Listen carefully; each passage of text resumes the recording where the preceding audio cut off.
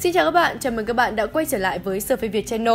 Theo báo cáo từ Petri, một trang web công nghệ dành cho các chuyên gia công nghệ thông tin, Microsoft sẽ phát hành phiên bản ARM của Surface Pro 7 và biến thể AMD của Surface Laptop thế hệ tiếp theo vào tháng 10.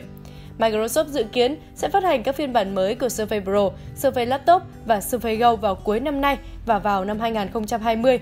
Nếu điều này là sự thật, có vẻ Microsoft đang thách thức đến sự hợp tác lâu dài với Intel và lần đầu tiên mang chip cạnh tranh đến các thiết bị Surface. Microsoft được cho là đang thử nghiệm nhiều hệ thống dựa trên ARM và hợp tác chặt chẽ với Qualcomm để tạo ra chip 8CX tùy chọn, tên mã Excalibur đang được tối ưu hóa cho Windows và có thể hoạt động như một thiết bị tham chiếu cho các nhà cung cấp máy tính sách tay khác.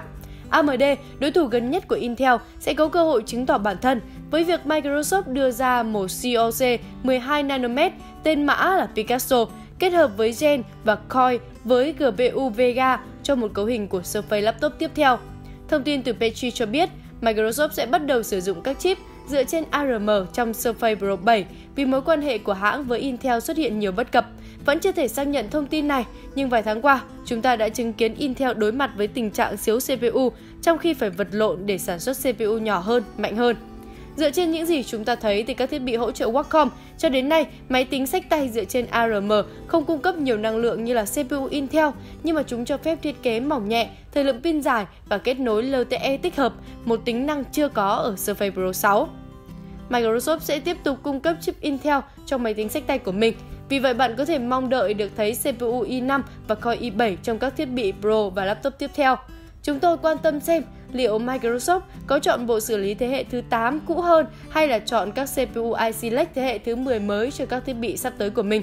Ngoài các biến thể chip mới, Pro 7 sắp ra mắt được cho là có thiết kế tương tự Pro 6 nhưng sẽ bao gồm cổng USB-C mặc dù không có Thunderbolt 3.